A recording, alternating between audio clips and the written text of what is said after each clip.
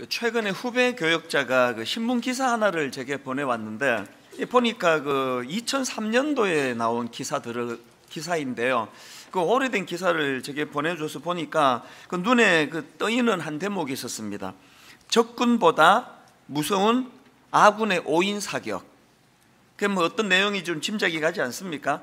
미국의 걸프전을 위시해 가지고 많은 전쟁에서 그 아군끼리 총질을 하다가 아군의 그 오인 사격에 그렇게 목숨을 잃는 군인들이 많다는 겁니다. 한 예로 임무 수행을 마치고 귀환하던 영국 공군 전폭기가 같은 아군인 미군이 쏜 패트리어트 미사일에 맞아서 격추돼 가지고 영국 군인 전원이 사망한 사건이 있었다는 겁니다. 그런가 하면은 1991년도에 있었던 걸프전 당시에 미국을 도와서 출전했던 그 영국 군 사망자 4분의 1이 아군인 미군의 총격으로 목숨을 잃었다는 겁니다.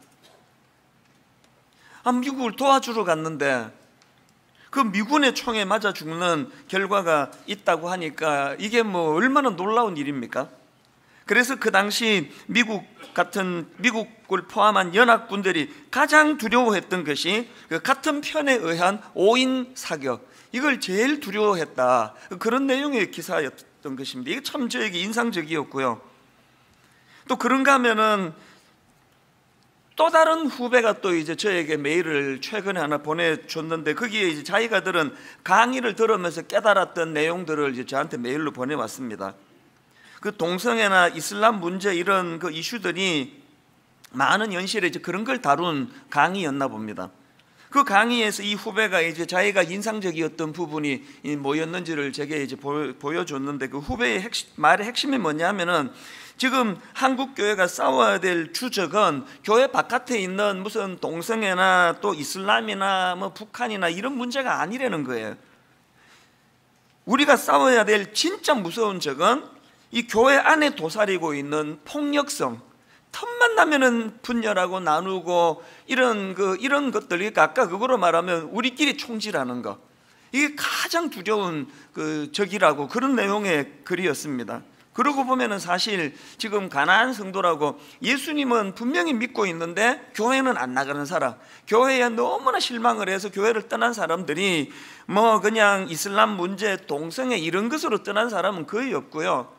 전부 이제 이 교회 안에 너무나 그 이기적이고 또 탐욕적이고 또 그런 것 때문에 발생되는 분열 또 분열이 일어날 때마다 양쪽이 서로가 보여주는 폭력적인 태도 이런 것들에 실망해 가지고 교회를 떠나는 일들이 지금 얼마나 많은지 모른다는 겁니다. 이 두 교역자가 그 비슷한 내용의 메일 막 옛날에 그 기사를 찾아가지고 저한테 보내주는 이유가 뭐였냐 하면은요. 지금 일어나고 있는 분당 우리 교회를 중심으로 해서 일어나고 있는 이상한 과열 현상 때문이에요.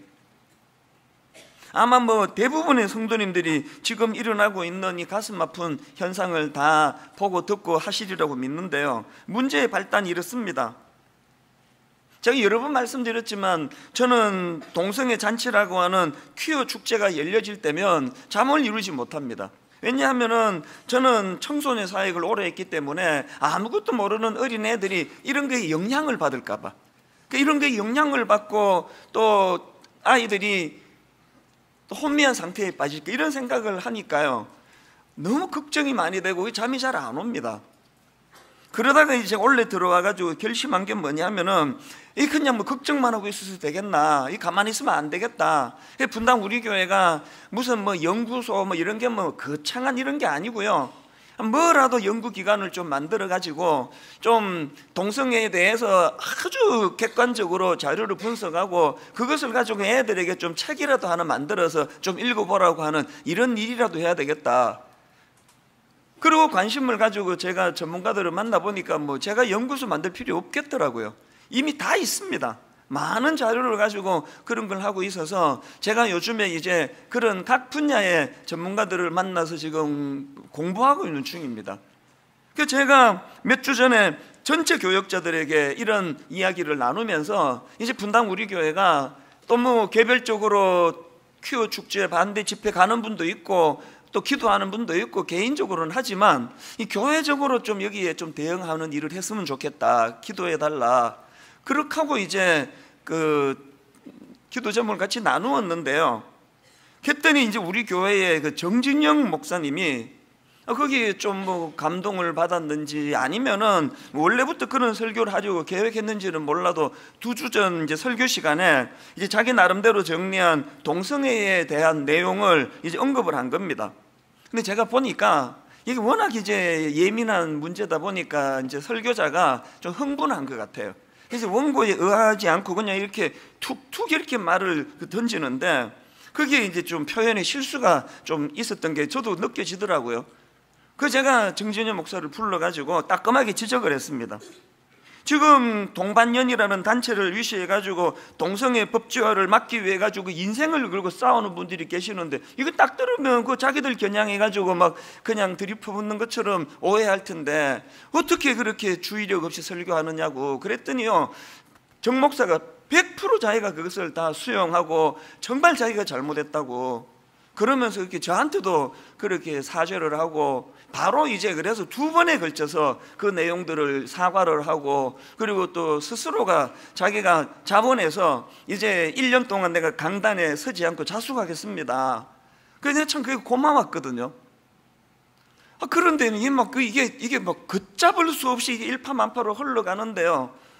뭐 처음에는 너무 어리둥절했습니다. 이게 도대체 이렇게까지 사과를 하고 했는데 이렇게까지 이게 격분할 일인가 그러고 보니까 그 반대하시는 운동하시는 분들이요 그만큼 거기에 인생을 걸고 마음을 쏟다가 보니까 이제 그 분노도 그, 그만큼 컸던 것 같아요.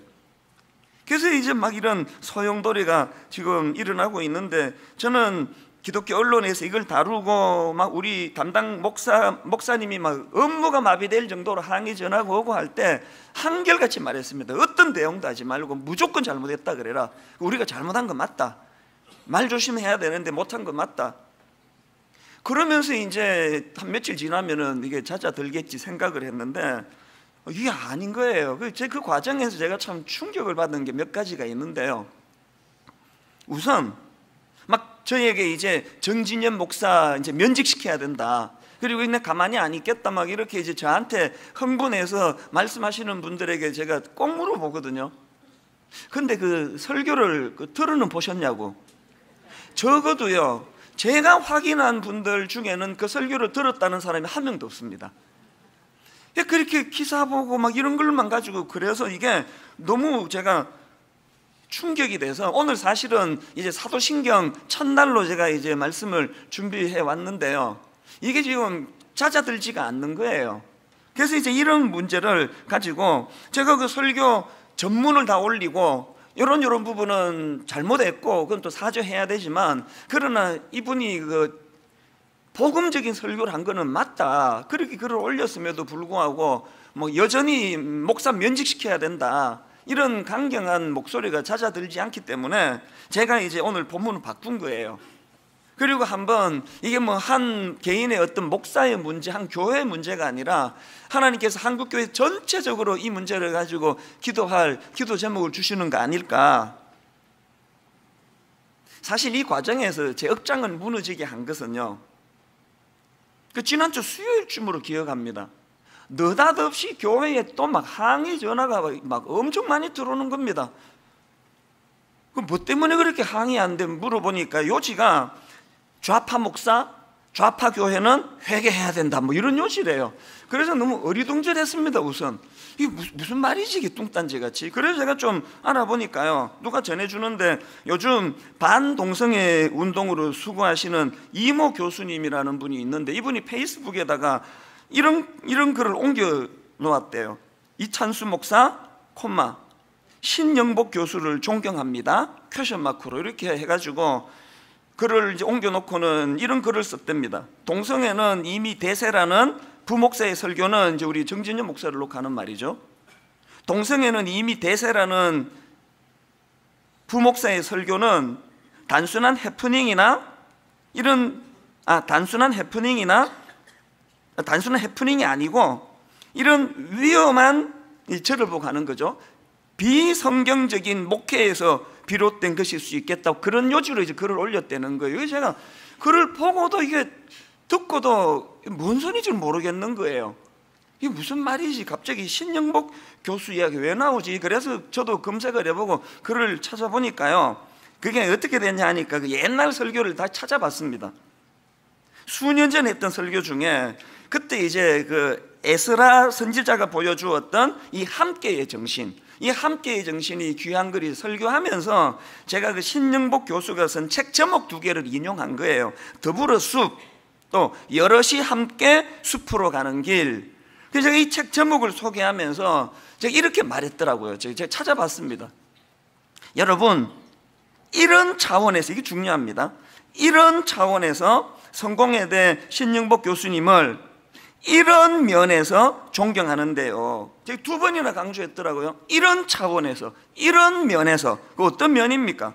제가 지금 에스라 선지자가 보여준 함께의 정신을 설교하는데 이런 제목의 책을 내는 이런 점에서 참 이건 참 존경스러운 거 아니냐는 그런 요지로 뭐 원고에 있는 것도 아니고요. 툭 나온 거 아니겠습니까?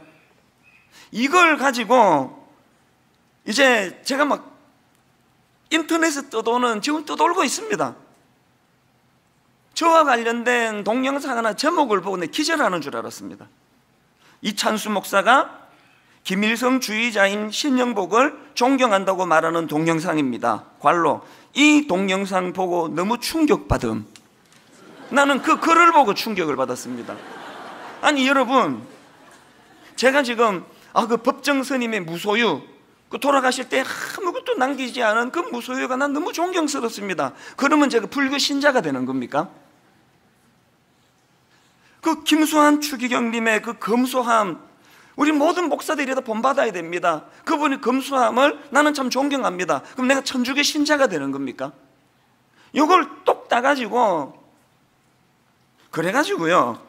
저는 그 글을 올리신 그 이모 교수님 뭐 누군지 잘 알지도 못하지만 아 이분이 적어도 반동성애 운동을 하시는 분이라고 하니까 아 저는 이분에 대해서 잘 모르지만 그래도 이분이 그 불교 신자였다가 그 간증을 들어보니까 불교도로서 목사님을 조롱하다가 예수님을 만나서 변화가 되었다 그런 간증을 하고 어, 초신자인데도 불구하고 이렇게 그 전면에 나서서 애쓰시는 거 이런 것들이 어, 제 마음으로는 그 참 기도해 드려야 되겠다 그런 생각을 하는 분인데 설마 이런 분이 어, 저한테 확인도 안 해보고 이런 글을 옮겨 쓸까 해가지고요 그 하지도 않는 페이스북을 어떻게 어떻게 해가지고 그 들어가 봤습니다 나 또 기절하는 줄 알았습니다.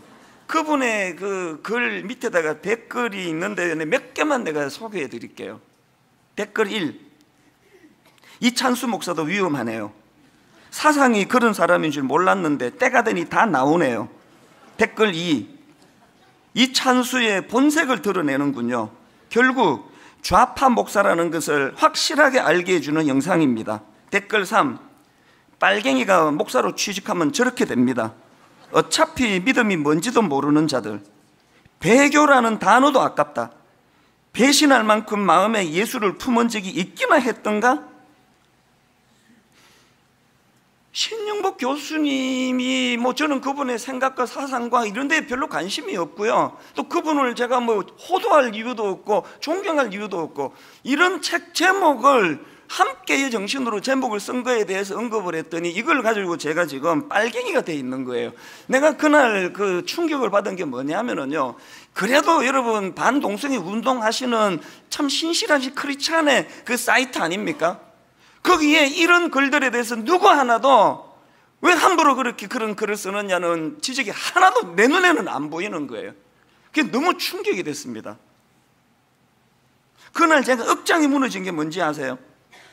제가 지난 보수 정권 10년 동안 내내 진보 진영 사람들한테 이찬수 목사는 보수다, 이찬수 목사는 꼴통 보수다 그런 소리를 내가 10년 내내 시달렸거든요.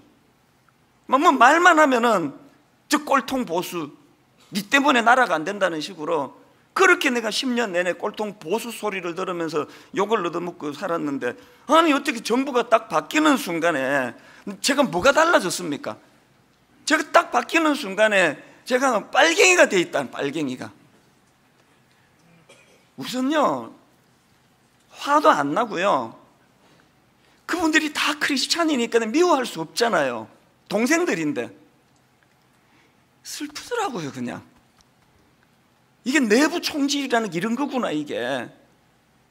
이단이 저를 죽이겠다고 작심하고 막 제가 막 그냥 노이로제 걸리도록 괴롭혀가지고 그러면요. 제가 그 순교라도 되는 거 아닙니까? 그러다 죽으면. 내부의 총질에 맞아 내가 죽으면 제가 우울증 걸리고 그래가지고 내가 죽으면 이건 뭐가 되는 겁니까, 이게? 제가 이런 글들에 대해서 그 좌절하는 게 뭐냐면은요, 어떻게 공격하는 방식이 그렇게 양쪽이 똑같으냐는 거예요. 지난 보수 정권 10년 내내 그 툭하면은 왜 그 보수 신문을 이용하느냐? 인용을 왜 그런 신문에서 하느냐고. 아니 오늘 본문이랑 너무 적절한 조화되어 있는 그 본문인 글 찾았는데 제가 신문 가려서 그거 다 빼면은 무슨 거리로 내가 설교합니까?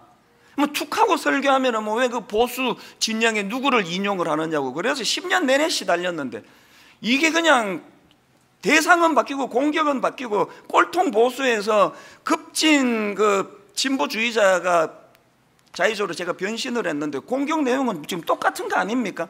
왜 그 신영복 교수 책 인용하느냐는 그 얘기 아닙니까? 이제 슬픈 거예요, 그냥. 너무너무 저질스러워 가지고 우리 기독교가 말이에요. 그 사람들이 뭐 젊은 사람들이 그 뭐 이런 분위기에 지금 편성하는 거지. 이 시간이 갈수록 이게 점점 이게 심해져 가지고요. 그래도 그 지난 10년 동안 뭐 저를 꼴통 보수라고 막 그렇게 그냥 괴롭히고 못 살게 굴고 하는 그런 10년 동안에는 교회는 건들지 않았는데 요즘은 이제 이게 또 점점 심해져 가지고 아예 대놓고 이제 뭐 분당 우리 교회는 반기독교 좌파 교회라는 이런 글들이 이제 뭐 공공연하게 나오고 있으니까 제 마음이 두려운 거예요. 내가 그래서 나 때문에 이런 일이 벌어지고 있는 거니까 솔직히 정진, 정진영 목사가 저기 어느 지방의 그 작은 교회의 그 부목사였다면 전혀 안 겪어도 되는 그 가슴 아픈 일을 저 때문에 겪는 거 아닌가. 정진영 목사는 너무너무 저한테 미안하지만 어, 내가 정 목사에게 미안해요. 내가 사표를 내고 교회를 떠나면은 우리 교회가 이 오해를 벗게 되는 건가?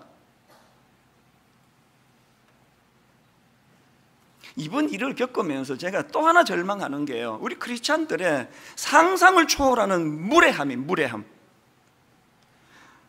요 며칠 우리가 홈페이지 한번 들어보세요.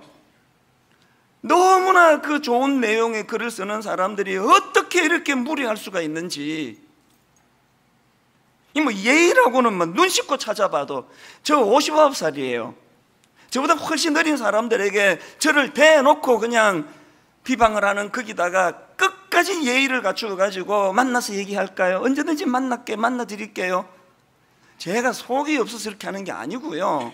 교회는요. 죽어도 놓치면 안 되는 게 예의예요. 왜? 사랑은 무례히 행하지 않은 거라고 하나님이 말씀하시기 때문이에요. 이 모든 가슴 아픈 뿌리는 저는 에베소서 6장 12, 13절 말씀을 모르기 때문이라고 생각합니다. 우리의 씨름은 혈과 육을 상대하는 것이 아니요. 다시 들어보세요. 우리의 씨름은 혈과 육을 상대하는 것이 아니요. 통치자들과 권세들과 이 어둠의 세상 주관자들과 하늘에 있는 악의 영들을 상대함이라. 그래서 13절. 그러므로 하나님의 전신 갑주를 취하라. 이는 악한 날에 너희가 능히 대적하고 모든 일을 행한 후에 서기 위함이라. 여러분 우리의 싸움은, 혈과 육을 상대하는 게 아니래요. 왜 제가 여러분 이를 악물고 어떤 경우라도 저 사람들은 내 동력자고 내 동지지 내가 오해를 풀어주면 되지 저들은 내 적이 아니다 이런 생각을 하기 때문에 그래서 상처도 덜 받아요. 오해만 풀어주면 되겠지. 여러분 우리가 영적 싸움에서 이기려면요 하나님의 전신 갑주를 취해야 됩니다. 그리고 적과 악을 구분해야 돼요 아무리 미워도 정진영 목사가 용서받을 수 없는 실수를 저질렀다 해도 그는 우리의 적이 아닙니다. 품어야 될 형제예요. 그 정도 설교해가지고 면직되면은 앞으로 어느 부목사가 소식을 설교하겠습니까? 어느 부목사가 하나님 앞에서 주신 말씀을 가지고 담대하게 설교하겠냐고요? 저요. 그런 일 없다고 저는 믿지만 끝끝내 정진영 목사가 이것 때문에 면직돼야 된다면 그날로 저 목회 그만둡니다. 내가 두려워서 어떻게 설교하겠냐고요. 그 정도 부목사 하나도 보호해주지 못하는 무능한 목사가 무슨 단임 목사 자격이 있겠냐고요. 제가 지난 10년 동안 한 번도 이런 얘기 한 적이 없잖아요. 제가 그 이모 교수에게 항의해야 된다. 이건 명예훼손이다만 우리 가까운 후배들이 막 격앙해서 이야기할 때도 가만히 두라 그랬습니다. 그분은 우리의 적이 아니라고 오해 풀어드리면 된다고 왜 그렇게 이야기해야 됩니까? 여러분들도 부탁합니다. 그분 사이트로 가고 페이스북 가서 어떤 글도 쓰지 마세요. 제가 분명히 말씀드리는데요. 그거는 제가 존경하는 목사님의 그 설교를 인용해 드리자면 잘 들어보세요. 기독교의 입장을 나타내기 위해 우리의 어떤 힘을 나타낼 수 있지만 분명한 것은 그 힘으로 세상에 무엇인가 메시지를 증명한다면 기독교는 더 이상 기독교가 아닐 수 있다. 저는 이 말에 동의합니다. 분당 우리 교 얼마나 많이 모이는지 알아? 얼마나 영향력 있는지 아나? 너 죽었어. 우리 단임 목사를 건드려? 이렇게 나서는 순간 이게 기독교가 아니에요. 우리는요, 때리면 맞고요. 묵묵히 저는 주님께 배운 거 용서하는 게 이기는 거다. 저는 주님께 그거 배웠습니다. 그 지금까지 믿고 있습니다. 용서하는 게 이기는 거다. 많은 분이 저보고 답답하대요. 왜 게시판에 왜 목사님이 시원하게 글 하나 안 쓰시느냐고. 왜 안 쓰느냐고요? 어떤 분이요. 저는 이단인데요. 그렇게 하고 글 쓰면요. 가만 안 있습니다. 어떤 경우라도 게시판에 글 쓰는 그분은 저희 적이 아니에요. 내부 총질 안 됩니다.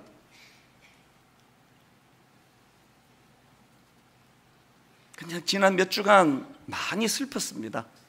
그래서 주님은 이런 현실을 어떻게 보실까? 제가 이런 마음의 아픔을 가지고 묵상하다가 발견한 게 오늘 본문에서의 주님의 질책이에요. 여러분 마태복음 23장 23절 24절 한 목소리로 같이 한번 읽어 보시겠습니다. 화 있을진저 외식하는 서기관들과 바리새인들이여 너희가 박하와 회향과 근처의 11조는 들이되 율법에 더 중한 바 정의와 극률과 믿음은 버렸도다 그러나 이것도 행하고 저것도 버리지 말아야 할지니라 맹인된 인도자여 하루살이는 걸러내고 낙타는 삼키는도다. 저는 요 며칠 동안에요. 하루살이는 걸러내고 낙타는 삼키는도다. 이 주님의 말씀을 오래 제가 지금 묵상하고 있는 중이에요. 예수님이 지금 비유로 말씀하시는데 하루살이와 낙타 둘 다 피해야 되는 것들이에요. 둘 다 부정한 것들이에요. 근데 주님이 지금 뭘 강조합니까? 주님이 가만히 보시니까요.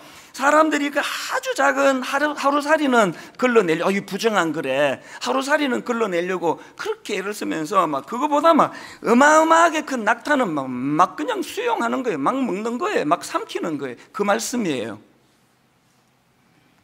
저는 며칠 내내 질문했습니다. 내게 하루살이가 뭘까? 절대로 하면 안 되는 거. 몇 가지 있습니다. 술 안 먹는 거, 담배 안 피는 거. 저게 하루살이에요. 절대로 술, 담배 안 하거든요. 예수님이 뭐 그 칭찬해 주시겠죠. 그 하루살이도 피하는 게 좋으니까. 그러면서 내가 술, 담배 안 하는 이거에 대한 긍지가 너무 크면서 낙타를 너무나 주님이 싫어하는 용서도 안 하고 막 툭하면 분노하고 툭하면 정죄하고 막 부목사 하나가 내게 조금만 무리하면은 막 그냥 쫓아내버리고 뭐 이런 건 대수롭지 않게 저지른다면 그게 지금 낙타를 먹는 짓이라는 거예요. 오늘 저는 여러분에게 진지하게 질문을 드립니다. 여러분에게 하루살이는 뭡니까? 너무나 긍지를 느끼면서 나 술 안 마셔. 나 담배 안 펴. 그러면 그런 긍지를 갖고 계시는 여러분에게 낙타는 무엇입니까?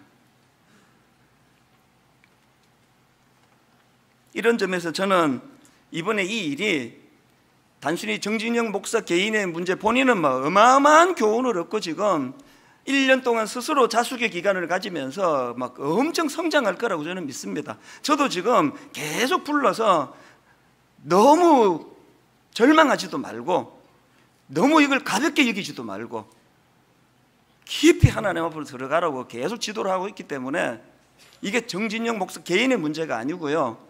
저는 이건 분당 우리 교회 전체의 문제라고 생각합니다. 여러분 계속 질문하세요. 내가 긍지를 갖는 하루살이는 뭔가? 그러면서 내가 방심하면서 막 들이마시고 있는 낙타는 또 뭔가?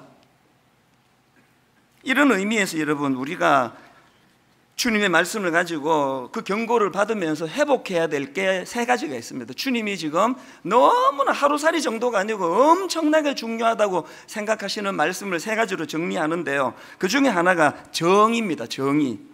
23절입니다.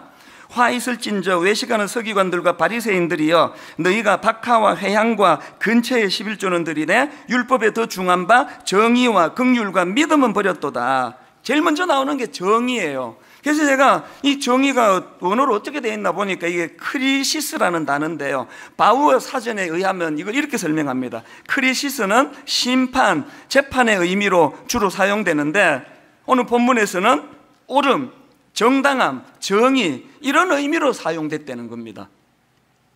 그리고 같은 내용을 그 그랜드 주석을 제가 찾아보니까 이 단어를 적용을 이렇게 합니다. 말과 행실로 자기 이웃에게 해를 끼치지 않는 태도. 이게 정의래요. 이렇게 이제 적용을 한 거겠죠. 술, 담배 안 피우는 게 하루살이라면요. 함부로 정죄하고, 함부로 판단하고, 함부로 말로 남에게 상처 주는 게 이게 낙타일 수 있다는 거 생각해 보셨습니까? 두 번째로 우리가 회복해야 되는 게 긍휼인데요. 23절을 다시 보십시오. 화 있을진저 외식하는 서기관들과 바리새인들이여 너희가 박하와 회향과 근처의 11조는 들이되 율법에 더 중한 바 정의와 긍휼과 믿음은 버렸도다. 여기 나오는 긍휼에 해당되는 단어가 엘레오스라는 단어인데요. 제가 이 단어의 의미를 찾아보니까 신약 성경 그리스 사전 이렇게 말합니다. 어떤 사람의 필요에 대해 표현되는 친절함, 자비, 연민, 동정 이런 걸 나타내는 단어라는 겁니다. 바우 사전에도 보니까 이 단어는 두 가지 측면이 있는데요. 이 긍휼이라는 게 하나는 하나님께서 인간에게 베푸시는 긍휼.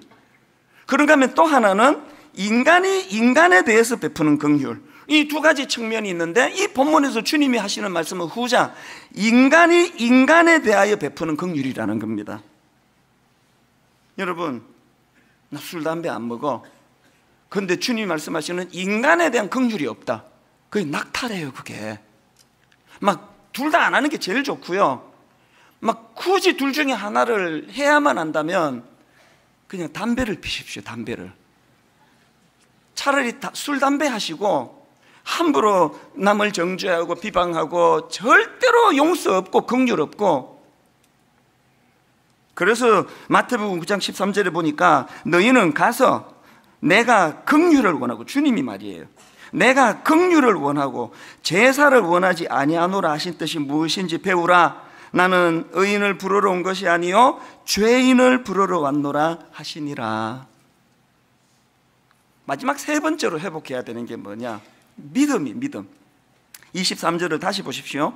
화 있을진저 외식하는 서기관들과 바리새인들이여 너희가 박하와 회양과 근처의 11조는 들이되 율법에 더 중한 바 정의와 긍휼과 믿음은 버렸도다. 여기 나오는 믿음은 여러분 다 아시는 단어예요. 피스티스라는 단어 여러분 들어보셨죠? 이 피스티스는 신실함 혹은 충성 이런 뜻을 담고 있는 단어인데요. 그리스 사전에 보니까 본문에서의 이 단어는 그 상대방에게 인격적으로 신뢰받는 상태의 중요성을 강조하는 문맥으로 쓰여졌다는 거예요. 무슨 뜻인가 하면은요. 자, 디도스 2장 10절을 보십시오. 훔치지 말고 오히려 모든 참된 신실성을 나타내게 하라. 여기 나와 있는 신실성이 뭡니까? 하나님 앞에 사람들에게 인격적으로 신뢰받는 이 상태가 중요하다는 거예요. 그러니까 지금 예수님께서 그렇게 율법을 잘 지키는 그 사람 서기관 바리새인들에게 주시는 지적이 뭡니까? 지적이 먼저 너의 삶으로, 먼저 너의 성품의 신실함으로, 먼저 너의 신뢰할 만한 모습을 먼저 보여주라는 거 아닙니까? 우리 홈페이지에 들어와 가지고 그냥 예수 좀 믿어볼까? 그랬던 어떤 세상 사람이 우리 홈페이지 와서 보고 정말 예수 믿어야 되겠다는 생각이 나고 있을까요? 저는요, 우리 홈페이지에 어떤 글도 원합니다. 저에 대해서 직설합법으로 지적해 주십시오. 그대로 수용하겠습니다. 단, 예의를 갖추어 주세요. 저 59살이에요. 예의만 갖추어 주세요. 이런 내용들을 제가 쭉 살펴보니까요. 그 손봉호 교수님이 쓰신 주변으로 밀려난 기독교 어떤 분이 그 송 교수님의 이, 이, 내용을 올린 게 있더라고요. 손봉호 교수님이 오늘 이 본문을 가지고 설명하는 대목이 나오는데 한번 들어보십시오. 한국 교회가 초기부터 예수님이 낙타에 비유했던 정의와 긍휼에 힘을 기울였다면 그때 누렸던 도덕적 권위를 계속 유지할 수 있을 것이고 그 다음 들어보세요. 하루살이 같은 동성애와의 싸움에도 쉽게 이길 수 있었을 것이다. 동성애가 쉽다는 뜻이 아니고요. 우리가 이 세상 사람들에게 주님이 말씀하시는 낙타 정의와 긍휼과 믿음으로 그들에게 신뢰를 받을 수 있었다면 이 동성애 문제에 대한 싸움에서 얼마나 이게 쉽게 다가가겠냐는 거예요. 오, 교회가 그거 안 된대, 안 된다 그러더래. 그러면 뭔지도 모르고 믿을 수 있을 만큼의 낙타, 이걸 우리가 멀리 할 수 있었더라면 그러면서 그 교수님이요 부연하는 말이 너무 공감이 됐습니다. 잘 들어보세요. 건국 후 상당 기간 개신교만이 중요합니다. 건국 후 상당 기간 개신교만 군목을 보냈는데도 다른 종교나 사회 누구도 이 일을 제기하지 않았다. 그만큼 기독교가 국민의 신뢰와 존경을 받았기 때문이다. 지금은 도덕적 권위를 상실해서 기독교가 아무리 옳은 주장을 해도 너나 잘하세요. 야유만 받게 되었다. 지금이라도 낙타와 하루살이를 구분하고 낙타에 집중해야 하루살이를 구할 수 있다. 저와 여러분 모두에게 주시는 말씀 그 다음 들어보세요. 정직하고 공정해서 정의를 실천하며 하나님과 믿음을 돈, 명예, 권력 같은 하급 가치를 얻는 수단으로 착각하는 우상숭배를 중단하고 하나님이 주신 복을 약한 자에 대한 극률에 사용하면 영적 전투에서 결코 패배하지 않을 것이다. 우리 교회의 원로 어른이 하시는 말씀이에요. 저는 오늘 주님의 이 본문의 경고 말씀을 그대로 수용하면서 이제 전 교회적으로 두 가지를 선포하고 또 촉구하는데요. 첫째, 내일부터 한 주간 동안 전 교회적인 금식을 선포합니다. 이건 영적인 문제예요. 너무나 혼란스럽던 지난 화요일 새벽입니다. 도대체 무슨 일인지 도대체 감을 잡을 수 없는 그 새벽에 하나님께서 뚜렷하게 저를 책망하셨어요. 닌 아직도 이게 뭔지 모르겠니? 분당 우리 교회 안에 단임 목사에 있는 내면에 도사리고 있는 회개 교만의 문제를 경고하고 있는 거야. 그날 새벽에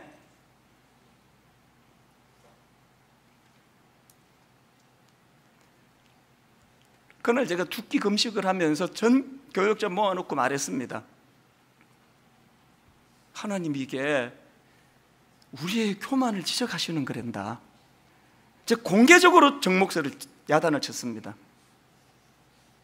어떻게 그런 중요한 이슈를 건들건들하면서 원고를 의지하지 않고 그렇게 설교할 수 있느냐고. 그게 당신 안에 있는 교만의 문제라는 걸 오늘 알게 되었다고. 나머지 부교역자들은 여기에 자유하나? 큰 교회 목사라고 근들근들거린 적 없는지 회개해야 되는 거 아니냐? 먼저 내가 오늘 금식하며 회개할 테니까. 그리고 다음 주일날 전 교회적으로 내가 회개를 선포할 예정이니까. 원하는 사람은 이번 한 주간 당겨서 회개하기를 금식하기를 원한다고.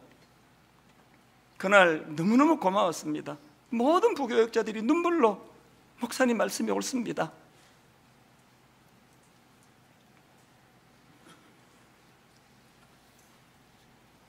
저는요 그렇게 저를 교회로 항의 전화 오게 만들고 저를 매도한 그 이모 교수가 이상하게 밉지가 않아요. 위선 떠는 거 아닙니다. 순간도 밉지가 않아요. 오히려 미안했습니다. 왠지 아십니까? 그분 초신자예요. 불교에서 예수 님이 얼마 되지 않은 그분을 갑자기 전투복 입혀가지고 전사로 지금 그분을 온 교회들이 받들면서 그분이 놓치게 된 게 뭐예요? 불교와는 다른 기독교만의 진짜 깊이 있는 아 이게 불교와 다른 복음의 능력이구나 이거를 전해줄 기회도 없이 전투복 입혀가지고 너무 미안한 거예요 그분에게 이게, 이게 기독교입니까 이게? 이게? 이게 기독교입니까? 잡으려고 몇 년치 설교를 뒤져가지고 그 책 인용 한마디 한걸 가지고 빨갱이라는 소리를 만들게 하는 이게 기독교입니까? 이게 기독교면은 저는 더 험한 말 나올까봐 내가 방금 절제했습니다. 이게 기독교입니까? 여러분, 이게 기독교입니까, 이게? 그분에게 전투복 입히기 전에 진짜 기독교의 진수, 손양은 목사님, 두 아들 죽인 그 원수를 양자 삼기까지 가는 뭐 우리 뭐 그렇게까지는 못 간다 할지라도 이게 기독교입니까 이게? 이 복음입니까? 이게 십자가입니까? 그 젊은 목사가 그렇게 지금 초중음이 돼서 사과하고 사과하고 1년 동안 강단에 안 쓰겠다고 스스로가 자처하고 저는 지금 정진윤 목사가 지금 우울증 올까봐 조마조마한 사람 여기 제가 행정 목사 보고 자꾸 체크해라 그리고 나한테 자꾸 어, 내가 절대로 화나 있지 않다고 미워하지 않는다고 자꾸 전해달라 여러 목사한테 그 부탁합니다 이게 기독교입니까 이게? 이모 교수님이 그분 잘못입니까 이게? 천박하기 짝이 없는 그런 오늘 저와 기성세대 우리들의 잘못 아닙니까?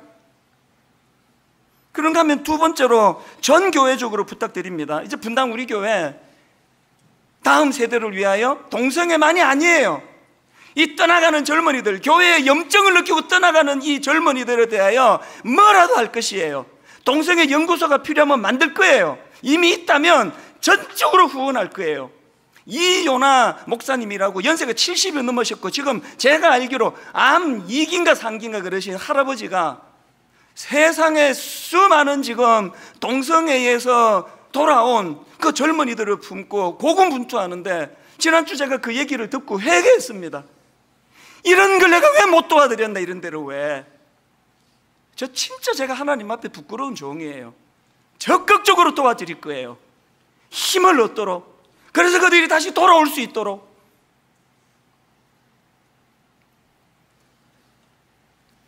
제가 왜 그 주일만 지나면은 월요일, 화요일 저한테 메일을 보내주는 그 대학생이 하나 있다고 얼마 전에 말씀드렸잖아요. 목사님 오늘 설교 이렇게 잘 들었습니다. 목사님 이렇게 저렇게 잘 들었습니다. 늘 그렇게 저를 격려해주는 형제가 있는데 불행하게도 이 형제는 지금 교회를 안 다닙니다. 정확하게 말하면 가난한 성도 교회를 떠났습니다. 이 형제가 출석하는 교회가 둘로 쪼개지고 성도들끼리 싸우고 다투고 반목하고 갈등하는 모습을 보면서 형제가 교회를 떠나버렸어요. 지금 유일하게 제 설교 다운받아서 지금 신앙을 지금 유지하고 있는 형제인데요. 한 번은 이런 글을 보내줬습니다. 저한테 형제가. 맨날 싸우는 이런 한국 기독교 상황을 학교 기독교 수업 시간에 다루며 연대 다니는 학생이거든요. 기독교 학교 아닙니까? 미션 스쿨 아닙니까? 맨날 싸우는 이런 한국 기독교 상황을 학교 기독교 수업 시간에 다루며 많은 학생들이 개독교라고 비판하는 상황에서 많은 학생들 앞에서 한 명의 기독교인으로서 정말 미안하고 무거운 책임감을 느낀다고 사과했습니다. 왜 얘가 사과를 해야 돼? 왜 얘가? 얘가 뭘 잘못해가지고 얘가 사과를 해야 되느냐고요. 우리 같은 목사들이 수많은 기성세대 사람들이 기독교를 이렇게 저질로 만들어버리고 우리가 사과해야지. 이 형제가 얼마나 신실한 크리스찬인지 아십니까? 한 번은요, 또 메일이 왔어요. 학교 수업 중에 의과대학을 다니거든요. 수업 중에 자기가 대놓고 동성애를 반대하는 그런 의견을 냈는데 막 그 일로 막 야유와 질타와 핍박이 얼마나 쏟아졌는지 그 일 이후로 자꾸 식은땀이 흐르고 공황장애가 올 것 같은 그런 상황이었다고 메일이 왔는데 제가 그 메일을 보고요. 제가 분당 우리교회 담임 목사로서 겪는 이걸 내가 힘들다 그러면 난 양심 불량이라 생각했습니다. 여러분 이 젊은 크리스찬들이 이렇게 잘 믿으려고 애를 쓰는데 좀 이렇게 힘은 못 실어줘도 어떻게 이렇게 유치한 기독교로 자꾸 전락을 시키시느냐고요. 용서가 안 되는데 그게 무슨 기독교입니까 그게 내부에서 우리끼리 총질하고 있는데 골리앗은 여기서 지금 발작 끼고 구경하고 있는데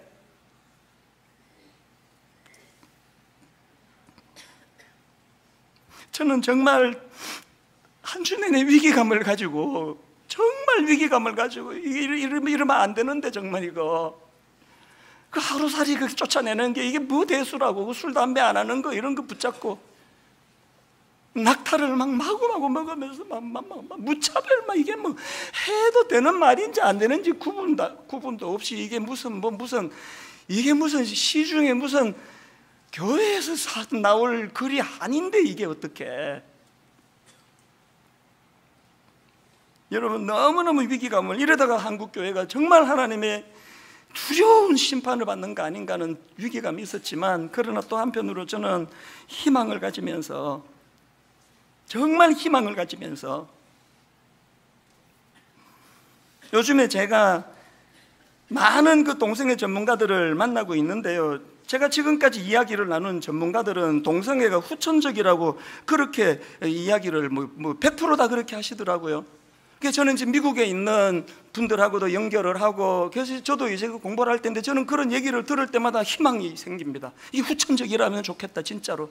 후천적이기를 나는 믿고 싶다. 이 후천적이라면 희망이 있잖아요. 여러분 그런 어떤 그 달콤한 그 무엇의 어린애들이 만약에 만약에 그런 것 때문에 넘어졌던 희망이 있는 거 아닙니까? 우리가 진짜 매력 있는 교회 세상에는 그냥 얼굴 이쁜 것 가지고 무슨 대학 나온 것 가지고 사람을 차별하지만 여기만 들어오면은 그런 거 하나도 따지지 않고 우리 인연 같은 거 따지지 않고 여기만 오면은 다 품어주고 다 용서하고 진리가 바로 세워주는 것을 원합니다.